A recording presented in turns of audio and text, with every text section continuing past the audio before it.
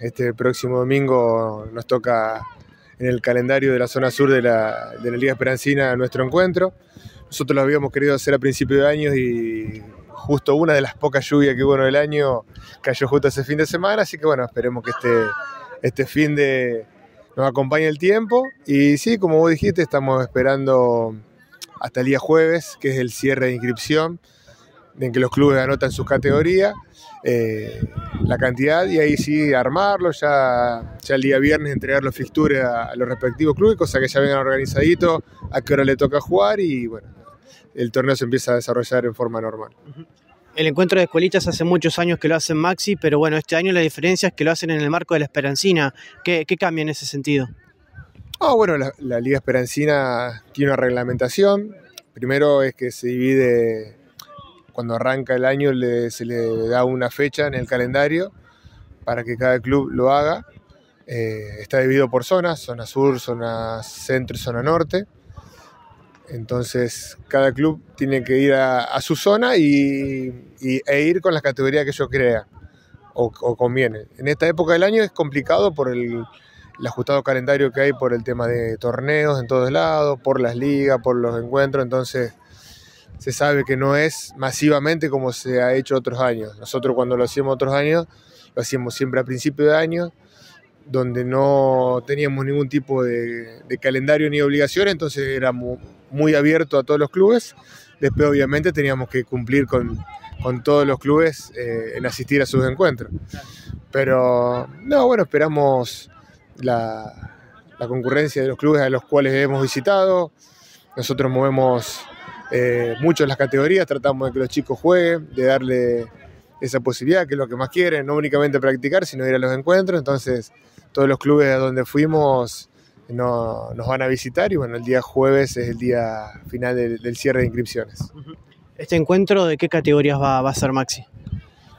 Por lo general es de 14, 15, 16, 17 y 18, 19 juntas y también la que incorporamos también es la 2013 que ya pertenece a, la octava división, la nuestra es la octava división junior, pero bueno, como son muchos chicos y lo hacemos nosotros y hay algunos clubes de la zona que pueden asistir con esa categoría, la incorporamos. Entonces así tienen un día más para, para poder jugar y divertirse. ¿Y qué canchas van a estar utilizando acá en el predio?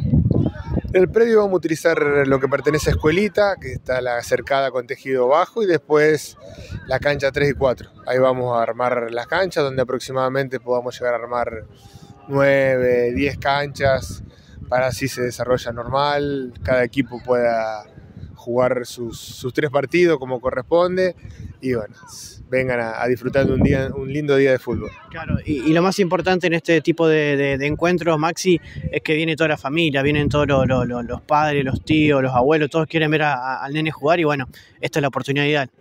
Sí, sí, más preferentemente en este tipo de edades, en los cuales son los primeros partiditos, donde resulta hasta muy cómico a veces ver el funcionamiento de los chicos. Eh, eh, todo, toda la familia se acerca a verlo y bueno, eh, la idea es esa, el divertirse, que sea una hermosa jornada, que el tiempo acompañe para, para que en el club se llene de, de gente y de chicos jugando, que es, es, la idea a este tipo de edad.